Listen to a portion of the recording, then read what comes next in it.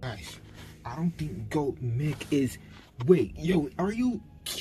Yo, what's happening to? Wait, what's coming out? Guys, what? Get back! What? what? Wow! Look, how we're blocking the way is what? Well, you'll notice that I am king in here if all of you, now all of you are gonna stand by. And you're gonna listen to me now. Because it's me, G. Multimec, under this control, where all of my control minions are guarded out of the way. And it is up